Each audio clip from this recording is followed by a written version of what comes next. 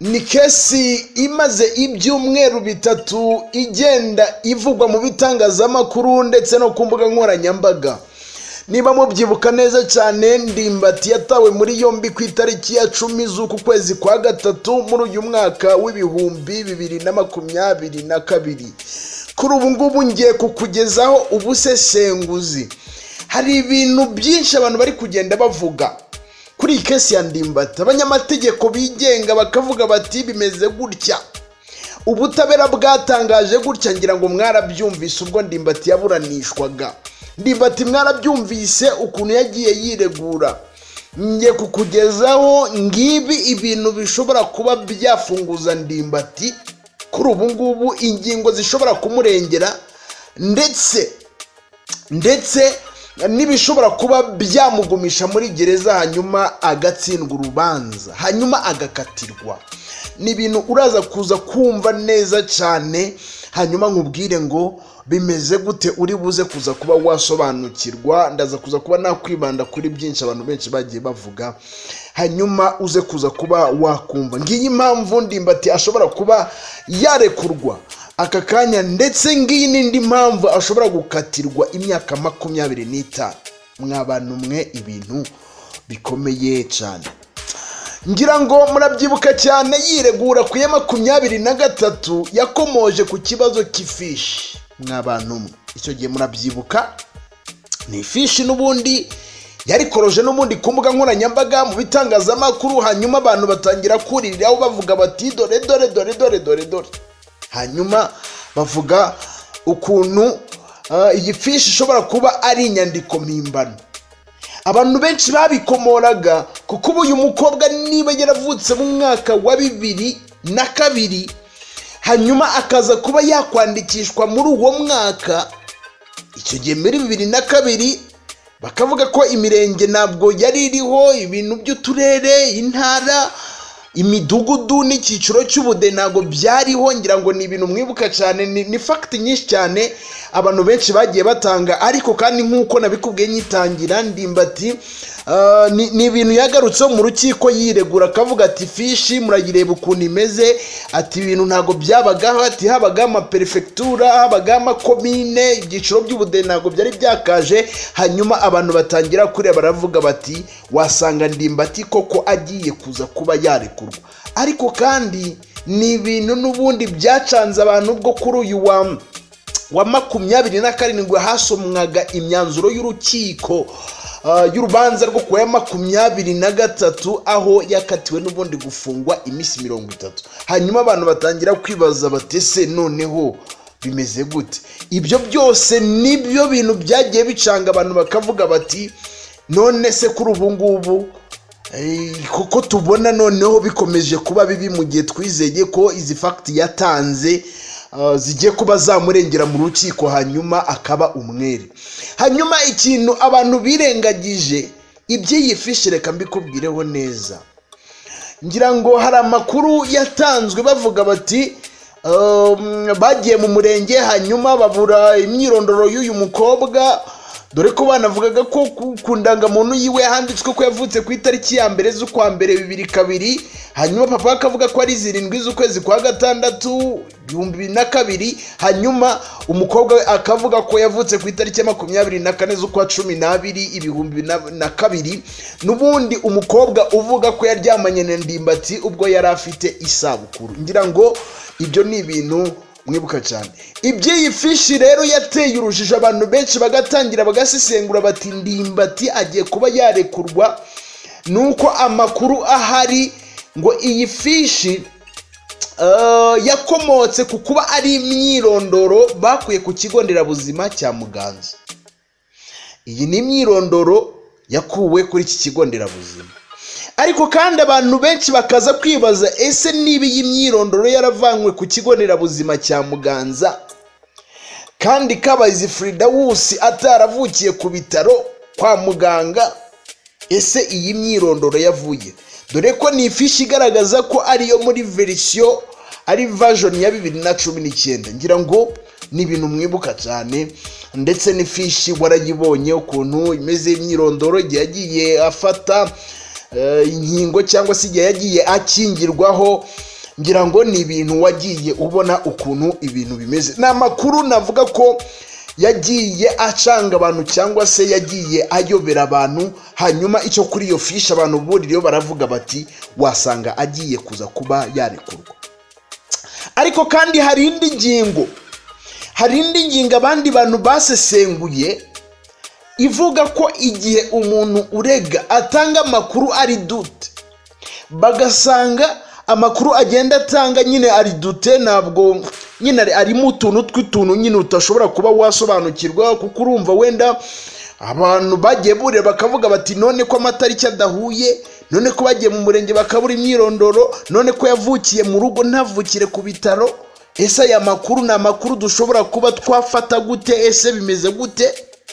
Hanyuma abantu bakuru bakavuga bati ni amakuru ari dute? Niba mubyibuka umunyamategeko wa ndimbati mu rukiko yavuze ko hari ingingo ivuga ko igihe abantu cyangwa se umuntu urega atanga amakuru ari dute umuntu uregwa byihuse ahita arekurwa. Ngira ngo ni amakuru ibyo ni ingingo ni uko nyibagiwe ariko iyo ngingo irahari. Hanyuma benshi bari bazi ko ku ya makumyabiri na karindwi imyanzuro y'urukiko rwo ku ya makumyabiri na gatatu ari buze kuza kuba yarekurwa nyamaze urukiko rwo rutangaza ko hari ingingo nyinshi zikibwaho cyangwa se iperereza rigikorwa kuko ngo hari hari hari fagiti zimwe babona koko ku ruhande rwa kabayizi furidawusi ibyo yagiye atangaza ibyo yavuze mu itangazamakuru uburyo yabajijwe bagasanga ndimbati ashobora kuba yararyamanye n'uyu mukobwa ku itariki ya makumyabiri na kane na makumyabiri na gatanu. Mu gihe ndimbati we abihakana akavuga ko ari ku itariki ya kabiri z'ukwezi kwa mbere mu mwaka wa bibiri na makumyabiri. Ngira ngo ni ibintu wagiye ubona mu bitangazamakuru.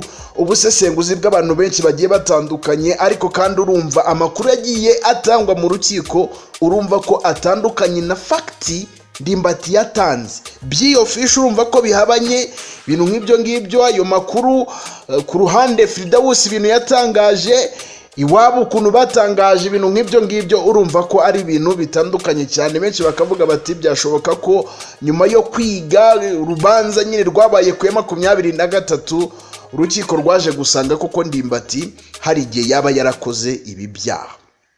Ngira ngo ni ibintu uriho urumva neza cyane. Ndagira ngo unkurikire. Ndimbati ariho araregwa cyangwa se ariho arakurikiranwa ku byaha byo kuba yarasambanije umwana ari we kabayizi furidawusi ndetse no kumusindisha.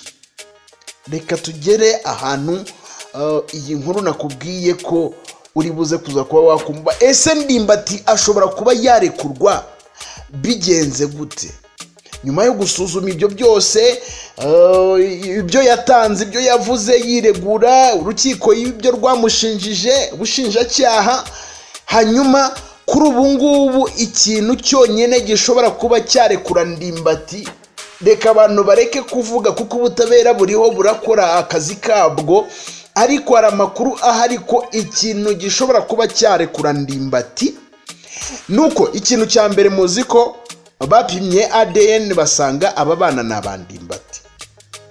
Abo ntabwo ashobora kuba yabihakana.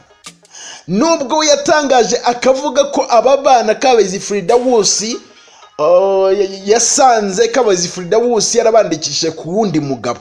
Ngo w'umushoferi ntabwo nibuka izina ryiwe ariko ngira ngo n'ubundi ni ibintu mwibuka cyane. Nubwo asanze yaramwandikishije ku bandi bagabo akavuga ati agenda barisha ku bandi bagabo benshi cyane ahubwo ni ikibazo kuba abana banjye yaba akoresha ibikoresho bimeze gutyo nko kubakoresha kugira ngo abe yabona indonke ngira ngo ni ibintu mwibuka cyane bakavuga ati ni ikibazo.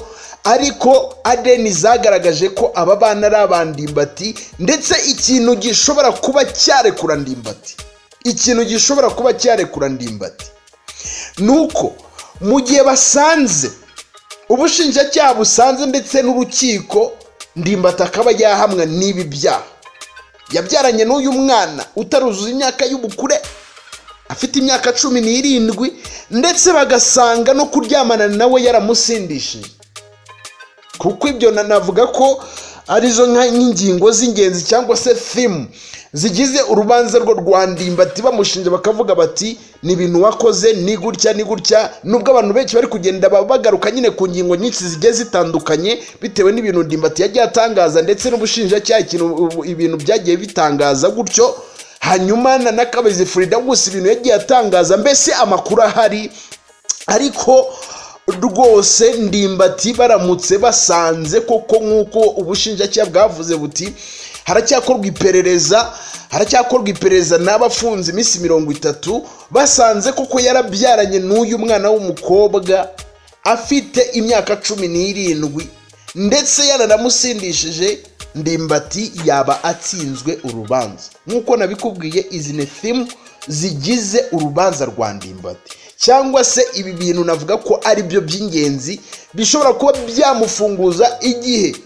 bitamuhamye cyangwa se bikaba byanamurekura igihe basanze koko atari byo uyu mukobwa abeshya. Ngira ngo ni ibintu uriho urumva cyane. Ariko kandi nakugira ubwo busesenguzi bw'iyo fishi amakuru yagiye avugwa yadute ibiki n'ibiki ibintu nk'ibyo ngibyo aho abanyamategeko abasesenguzi bari kugenda basesengura izi ngingo bakavuga bati ndimbati ibintu nk'ibyo yari akwiriye gufunga.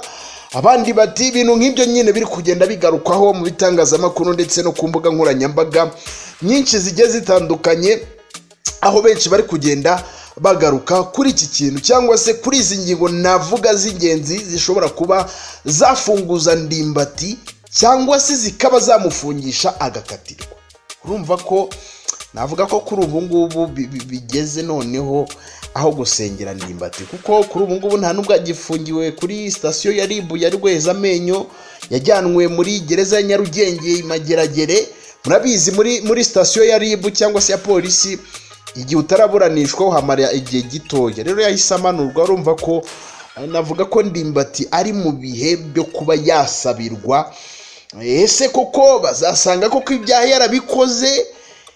Abe yakatirwa cyangwa se bazasanga atari byo aze kuza kuba yarekurwa. Urumva ko rero ni ibintu bya hatari hanyuma reka mbashimire cyane murabizi neza cyane ko nitwa shadu iyi ni shadu 250 tv reka mbanze nkurarikire niba utarakanda subscribe ukande subscribe like share ndetse na comment kugira ngo nitujye dushyiraho inkuru wowe ujye uba mu mbere bagenda bazikurikira tanu kwa tanu hanyuma murabizi neza ko mbakunda cyane kandi mbabuza ku mutima. Asitaravista jaburesi mukomeze mudukurikire tubafitiye ibintu byinshi byiza inkuru amapudeti agiye agezweho. Rero mukomeze mudukurikire mukande n'iyo nzogera iri ku ruhande kugira ngo n'ubundi nitujya dushyiraho inkuru umwe mujye mu wa mbere bagenda bazikurikira. Tanu kwa tanu ndabakunda cyane witeka akomeze barinde nitwa shadu. Iyi ni shadu 250 tifu cawu cawu